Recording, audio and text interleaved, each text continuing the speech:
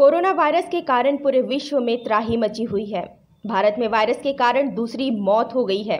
इस बार ये मौत दिल्ली में हुई है। इसके पहले कर्नाटक में एक व्यक्ति की मौत हुई थी।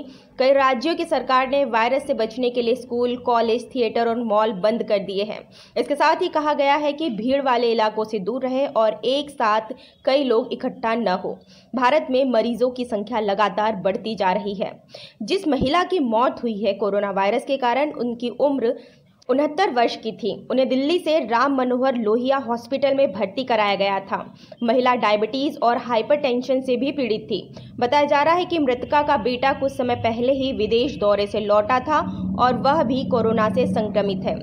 भारत में कोरोना वायरस के कुल उन्नबे मामले सामने आ चुके हैं। इन मामलों में दिल्ली में कोरोना वायरस के छः मामले, हरियाणा में सत्रह, केरल में बाईस, राजस्थान में तीन, तेलंगाना में एक और उत्तर प्रदेश में ग्यारह, लद्दाख में तीन तमिलनाडु में एक और जम्मू कश्मीर में दो, इसके साथ ही कर्नाटक में सात, पंजाब में एक, आंध्र प्रदेश में एक और महाराष्ट्र में सत्रह मामले सामने आए हैं।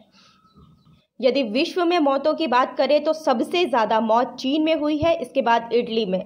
इटली में वायरस से संक्रमित शुक्रवार को 250 लोगों की मौत हो गई। आधिकारिक आंकड़ों के अनुसार देश में से एक दिन में होने वाली मौतों की यह सर्वाधिक संख्या है। वायरस के प्रकोप के कारण शुक्रवार को त्रिपुरा में अखोरा चौकी के ज़रिए भारत आ रहे करीब 40 से 45 बांग्लादेशियों को बुखार, खांसी और सांस लेने में कठिनाई होने जैसी समस्या पाए जाने के बाद उन्हें सीमा से वापस भेज दिया गया। यानी भारत सरकार और विश्व के सभी देश अब कोरोना से लड़ने के लिए सारी सावधानी बरत रहे हैं। विदेशियों को भारत में या अन्य देशों में नहीं जाने दिया जा रहा है। हमारी भारत सरकार ने 15 अप्रैल तक विदेशियों की एंट्री पर बैन लगा दिया है।